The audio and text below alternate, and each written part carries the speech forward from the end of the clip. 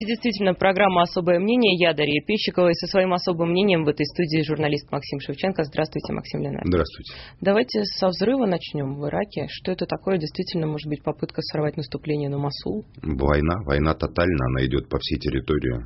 Война не бывает так, что здесь в Масуле воюем, а в Кербеле не воюем. Запад разжег в исламском мире страшную ненависть между шиитами и суннитами. Она, собственно, всегда была, начиная с ранних веков ислама, тлела и бывали и боевые столкновения. Но последние десятилетия это не проявлялось так очевидно и так ярко в такой войне. И вот уже лет примерно, наверное, 6-7 с момента эм, дестабилизации в Сирии и, и идет дестабилизация, которая была организована, спланирована Западом прежде всего, а, и его ближневосточными союзниками, королевствами, в которых рубят головы и одевают женщин в черные мешки. Так вот, а, идет война между мусульманами разных направлений.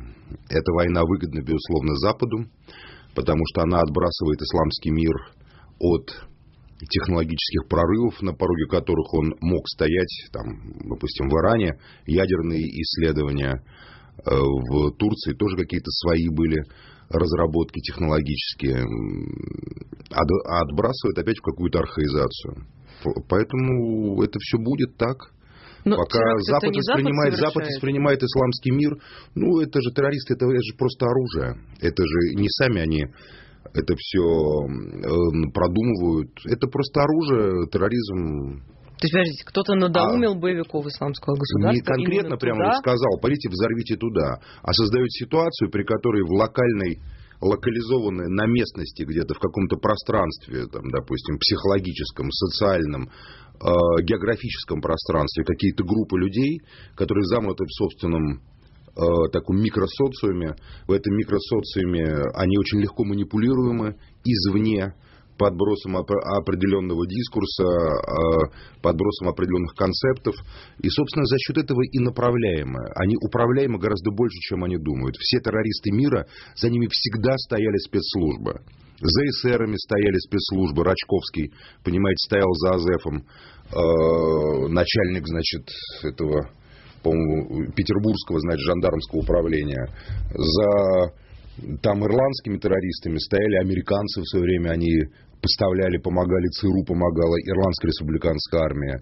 За левыми стоял э, там РАФ, ГДРовцы стояли, за сионистскими террористами стояли англичане, за палестинскими стоял Советский Союз в свое время. Поэтому всегда за кем-то кто-то стоит. И за этими тоже есть кто-то, кто сидит себе спокойно в хорошем кабинете, в каком-то здании, далеком от исламского мира, поверьте, и вполне говорит, ну что, надо теперь, пожалуй, чтобы дело кипело, сделать так, чтобы в Кербеле взорвались бомбы и погибли десятки людей, например. Давай там это а посылай. что, недостаточно кипит и так без Ну, этого? конечно, недостаточно. Что там? Надо, чтобы еще больше кипело. Представьте, допустим, шииты возьмут Масул. Это, конечно, очень проблематично, на, на мой взгляд что они его возьмут, потому что бои там очень тяжелые, все правда об этих боях не сообщают, в сети пишут разную информацию, в частности о том, что они несут огромные потери и скорее могут захлебнуться в крови. А, но, допустим, вот иракские шииты возьмут Масул. Все смотрят, что выгодно, чтобы Масул взяли иракские шииты, или турецкая армия, которая стоит на готове и тоже готова взять Масул или кто-то еще, или выгодно, чтобы остался ИГИЛ в Масуле, чтобы продолжалось это давление на исламский мир, продолжалось это уничтожение мусульман и продолжалась, и продолжалась эта оккупация энергетически значимой территории человечества, находящейся на территории исламского мира, войсками Запада и разного рода режимами, которые там существуют фактически как денежные кошельки Запада.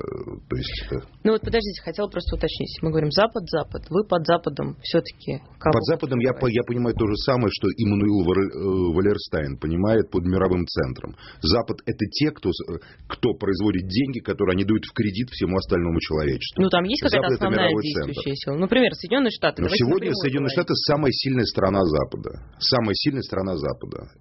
Безусловно, сегодня США. Великобритания, вторая страна, Евросоюз, третий такой центр Запада. Канада имеет отношение к Западу. Как ни странно, Япония частично имеет отношение к Большому Западу. Это те, кто является вот частью такой группы государств, которые, еще раз говорю, кредитуют все остальное человечество. Все остальное человечество им должно. А они кому должны? Вот внешний долг Америки достигает триллионов. Кто с них спросит, когда этот внешний долг? Никто и никогда. В отличие от всех остальных, с которых они могут спросить. Ну, смотрите, если Соединенные Штаты первая действующая сила, ну, во всяком случае, одна из главных. Сейчас скоро придет Трамп к власти. Ничего не изменится. Вот... И изменится только Почему? тактика, а стратегия господства останется одна и та же. Собственно, мы уже говорили об этом. Есть просто две стратегии.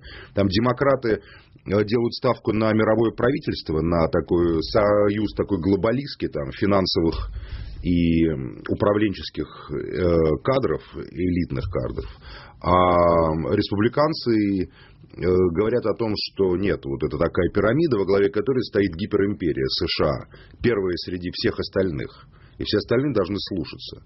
Никакого мирового правительства не надо, а вот надо, чтобы Америка была сильной, мощной, страшной, вооруженной до зубов э, и эмитентом доллара главным, то есть печатающим деньги, которые Но, они раздают всем остальному человечеству. Говорили, что болевой точкой может стать Китай. Не ослабится ли напряжение из-за этого в связи с этим? Что вы имеете в виду болевой точкой? Ну, что будут довольно сложные отношения с Китаем в ближайшее время, потому что будут Ну, об этом объявлено, его. потому что он же объявил о переносе э, промышленности на территорию США Трамп. Вот он уже ведет переговоры с Apple, на самом деле, о том, чтобы Apple из Китая перевел Э, в США свое, свое, свое, свое производство. Я, правда, не знаю, какие такие преференции нужны для того, чтобы Apple это сделала, потому что явно американский рабочий будет получать больше, чем китайский рабочий, и себестоимость в итоге будет выше. Хотя Трамп обещает какие-то налоговые льготы такой величины и такой невероятности, что прямо чуть ли, несмотря на гарантированные зарплаты американского рабочего в разы больше, чем зарплаты китайского рабочего, это для Apple будет выгодно. Но э, Ближнему Востоку легче не станет от того, что происходит. Ближнему Востоку уже никогда не станет легче, потому Совсем. что, конечно, потому что э, арабская весна на самом деле и стащила и пожрала силы очень многих на Ближнем Востоке. Демократическое исламское движение, оно истекло кровью в этой арабской весне, преждевременным, э, скажем так, спровоцированным Обамой э, всеобщем восстании, тех, кто не был готов к этому восстанию совершенно, потому что братья-мусульмане, конечно же, у них даже военной доктрины не было. И военная док- док- доктрина была у салафитских групп, которые э, достаточно маленькие и как раз управляемы извне во многом. Так вот, эм, несмотря на свою радикальную идеологию джихада и, и исламской войны глобальной, так вот, э, я думаю, что будет только хуже, конечно. В перспективе, конечно, война будет переноситься на территорию Ирана, дестабилизация Ирана вполне реальная вещь, поскольку в Иране э, происходит, собственно, то, что происходило в позднем Советском Союзе. Молодежь больше не хочет жить по тем правилам, по которым жило старшее поколение, поколение революции исламской. Власть мул – власть клерикалов больше не устраивает молодежь. С каждым годом, вот я несколько раз в Иране был, он меняется. Уже на улицах люди там еще в прошлом году держались за руки, а сейчас уже можно встретить чуть ли не, не, не, не целующихся. Этот протест так, гражданский... Эта трансформация внутренний, не может спокойно произойти? Она, конечно, контролируется э, духовными лидерами и в первую очередь Рахбаром, но я боюсь, что масса иранцев, которые выехали из Ирана и находятся за его пределами, которые вовлечены в насилие, которое существует по всей территории исламского мира, особенно арабского мира, эта масса слишком велика для того, чтобы удержать под контролем внутреннюю стабильность. Максим, ситуацию. сейчас сделаем небольшой перерыв. Это особое мнение журналиста Максима Шевченко. Это особое мнение журналиста Максима Шевченко. Ну что, Максим Иванович, еще про Иран или дальше пойдем? Ну, все, в принципе, понятно. Давайте тогда дальше. Смотрите, Хорошовский суд Москвы сегодня освободил от уголовной ответственности няню Гюльчихру Бубакулову.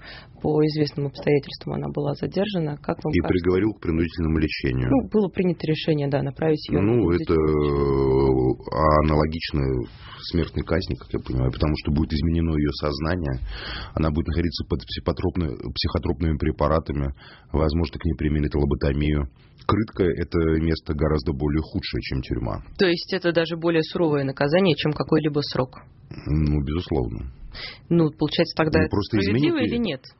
Ну, я С не знаю, справедливо или нет. не это- о законности, Слушайте, не я, о применении права. Если, если человек убийца, если доказано, что человек убийца, то человек должен быть наказан. А Поэтому, почему тогда есть недовольные таким решением, которые считают, что надо было Люди хотят посадить? публичных казней, публичной крови и, публичных расправ. Всегда есть те, кто кричит, как говорится, о, том, что они хотели бы видеть головы на кольях на площади. Это их частное мнение. Это у нас сейчас такая тенденция? Всегда в человечестве такая, челове- такая тенденция в человечестве всегда была, есть и будет. Это свойство толпы. Жаждать крови и жаждать расправы. Это нормально, это просто Надо призывать к милосердию, к эре милосердия. В данном случае о, ми- о ми- о милосердии речь не идет, речь идет об адекватном воздаянии. То, что государство признает какого-то человека невменяемым и отправляет его на принудительное лечение. То есть надо понимать, что это даже не тюрьма. Это то, где человек, его там, у него свидания не будет. На больного человека не распространяются об- общепринятые правила содержания заключенных. Он полностью находится во власти врачей и санитаров. Э, И как они скажут, это, вот они скажут, допустим, там пациент находится, там, не, не знаю, в тяжелом, там, в тяжелом стрессе, допустим. Все. И пациент сидит обколотый аминозином, там лежит обколотый аминозином или галоперидолом и находится в аду. Поэтому это совсем э, не, райское местечко. Думаете, она оттуда никогда не выйдет? Понятия не имею, если честно. Ее судьба меня вообще не интересует. Почему? Ну а почему ее судьба должна меня интересовать? Ну, вас вообще это дело в интересовало? стране Вы происходит, ждали, в стране происходит сотни, завершится? сотни убийств самых разных. Меня вот интересует что это был особый И меня интересуют дела убитых в Дагестане журналистов, которые по-прежнему не расследуются. Меня интересуют то есть, дела там, Натальи Стемировой и Анны Политковской. Вот что меня интересует. Меня интересуют дела тех, а, там убитых на Ставрополе семерых имамов э, нагайцев, э, которые тоже не расследуются. А, И меня интересуют дела политических, политические убийства, а я упоминаю политические убийства. Меня интересует рас- расследование убийств двух заместителей осетинского муфтия Хаджимурата Гацалова, которые были убиты, и их убийства тоже не расследуются. Поэтому давайте мы займемся политическими убийствами, которые в нашей стране совершены, сознательно не расследуются, а не психопаткой, которая бродит по улицам с отрезанной головой, очевидно, э, совершила преступление и так или иначе должна быть наказана. Она будет наказана, тут нет сомнений, тем или иным способом. А вот будут ли наказаны те, кто убивает безнаказанно журналистов, священнослужителей, э, тех, кого подозревают в создании эскадронов смерти в России, вот этот вопрос, на который у меня нет такого однозначного ответа. Думаю, они, естественно, наказаны не будут. Почему так? Почему Я думаю, потому что они просто носят погоны и принадлежат каким-то структурам, которые, собственно, действуют в рамках какой-то логики и стратегии. Допустим, это могут быть структуры, которые специально в том или ином регионе России, Кавказа, например, э, путем давления, репрессий и террора в отношении мусульман создают видимость наличия террористического подполья, чтобы им дали больше полномочий, больше денег, больше бюджетов. Вот необъяснимо, допустим, в Дагестане, я езжу часто по Дагестану, едешь, допустим, стоит так, так называемый федеральный блокпост, на котором стоят прикомандированные туда и из других регионов, значит, присланные какие-то сотрудники а которые, допустим, останавливают автобус, который и без того идет из какой-нибудь Астрахани, там, понимаете, часов 8, там, например, или 9, ночью это было, часа в 3, в 4 ночи я это видел. Из этого автобуса полностью вытаскивают всех, женщин, детей, стариков, все должны пройти. Это занимает иногда 2-3 часа процедура. Э, Значит, э, э, какая-то регистрация, и должны свои вещи поставить на какой-то, значит, там рентгеновский этот самый вот блок, как, как, в, как в аэропорту.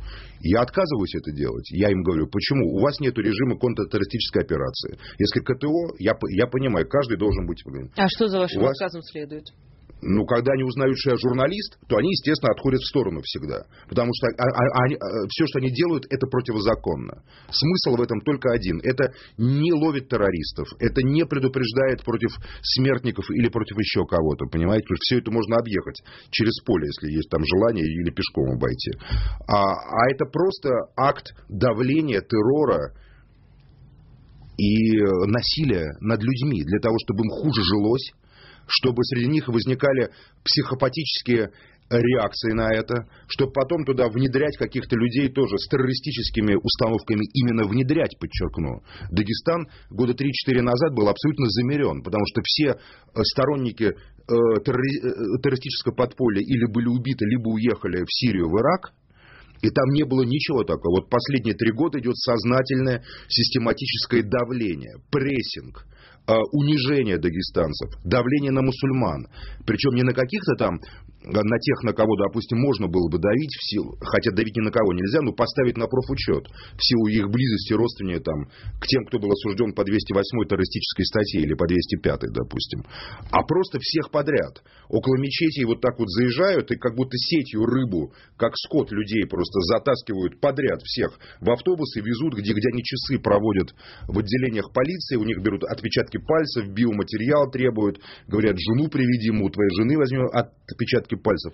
Все это мы проходили в Кабардино-Балкарии. Когда местная элита, а, бывший министр Шагенов, прокурор Кетов и еще ряд других людей а, под, а, в согласии с тогдашним руководством МВД по значит, Северному Кавказу, собственно, возражали против туда прихода Арсена Конокова. Э, бизнесмена и президента. Фактически они сознательно организовали да, репрессии против мусульман и создали террористическое подполье в КБР. Как только Коноков ушел, подполье сразу исчезло, понимаете, мгновенно. Думаю, сейчас тоже кого-то ведут на Дагестан, и поэтому сознательно создают такую ситуацию невыносимую. А местные жители почему никак не пытаются с этим бороться? Или у них а нет кто их слышит в Москве? Вы что, хоть раз дагестанцы сюда в эту студию позвали, что ли? Да хоть их там всех перебьют, вы, их, вы Это на них внимания не обратите. Там убивают журналистов, я доношу.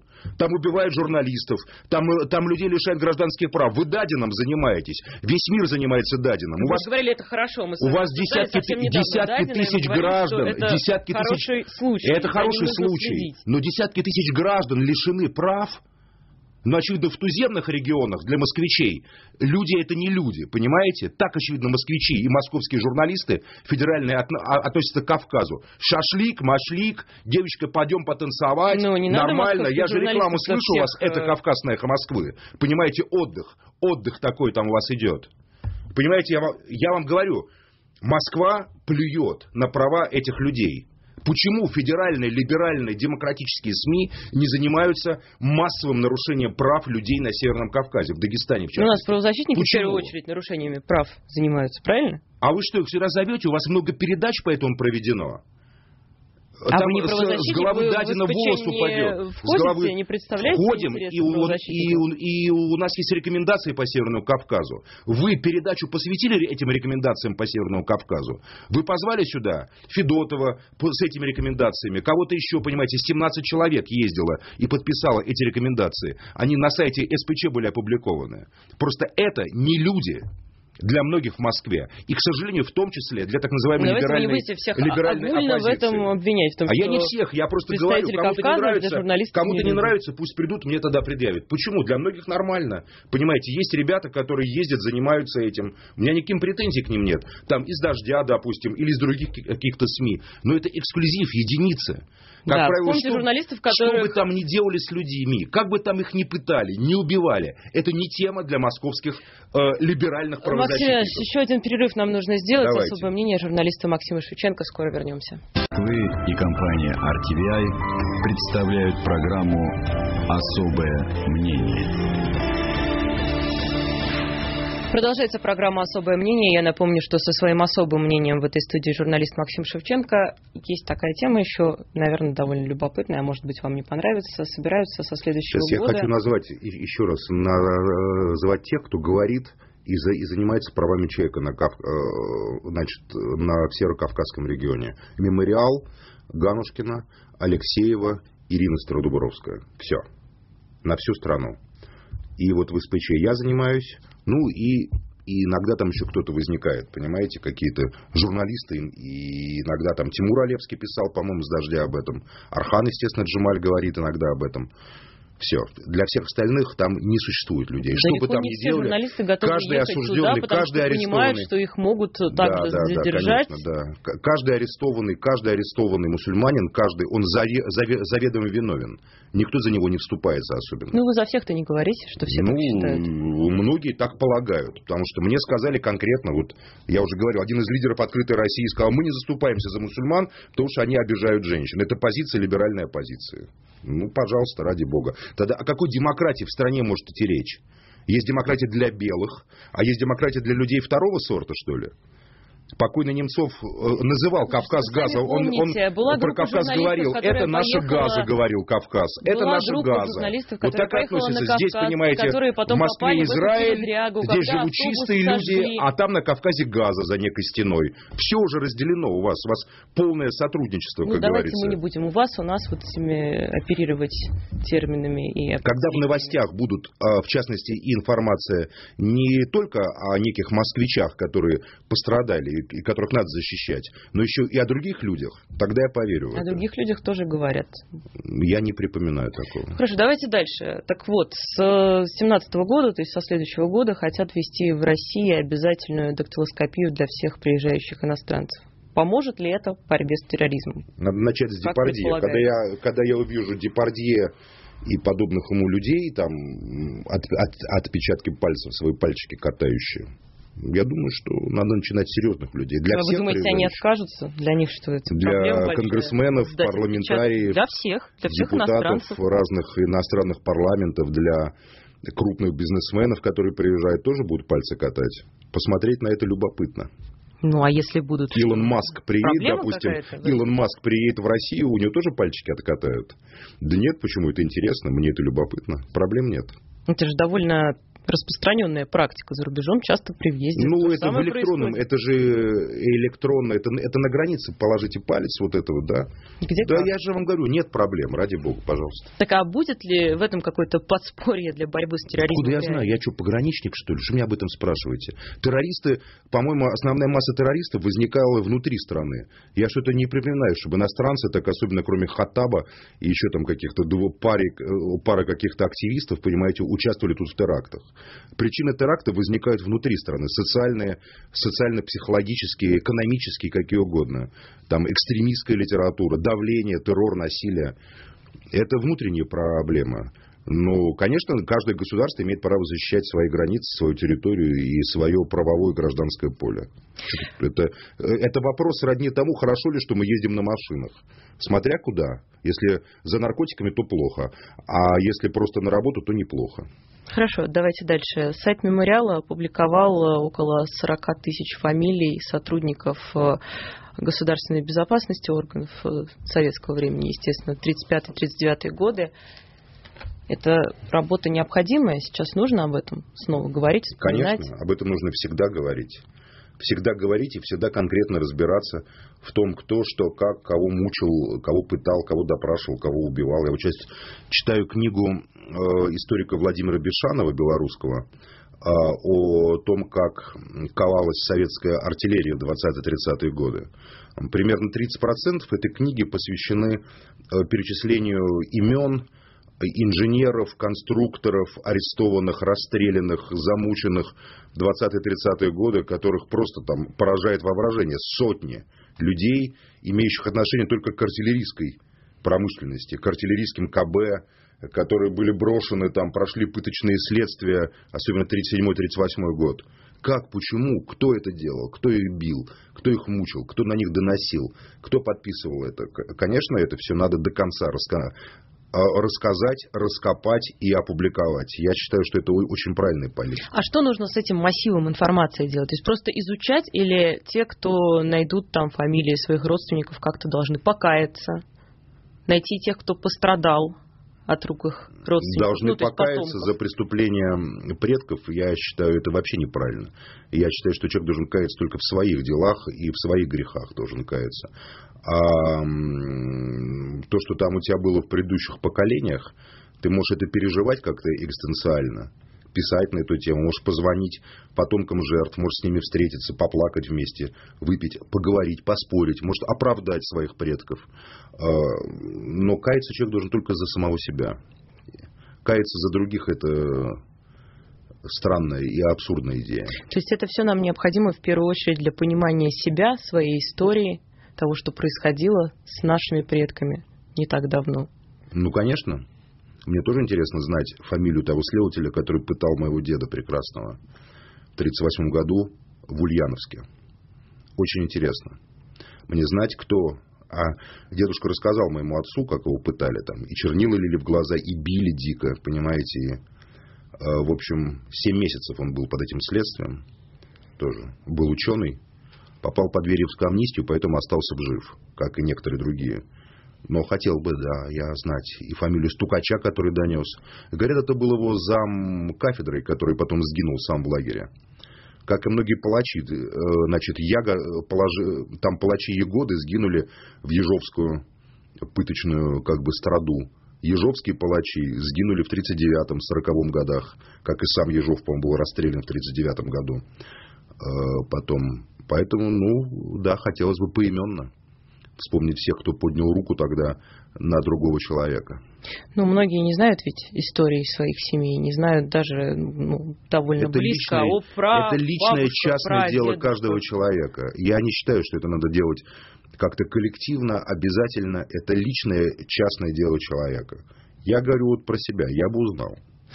А не будет ли это способствовать разжиганию розни между теми, кто находит А своих давайте симметрично сделаем, в списке пострадавших нас- и тех, кто находит своих Мы говорим в сейчас о списках 30-х палачей. годах.